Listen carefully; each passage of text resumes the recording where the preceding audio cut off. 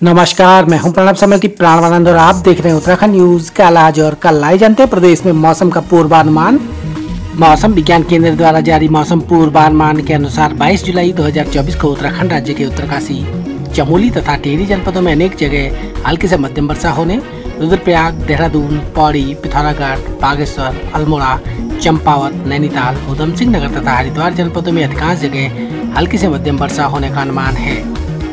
जनपद स्तरीय चेतावनी के अनुसार उत्तरकाशी चमोली तथा रुद्रप्रयाग जनपदों में कहीं कहीं गर्जन के साथ आकाशीय बिजली चमकने या वर्षा के तीव्र से अति तीव्र दौर होने?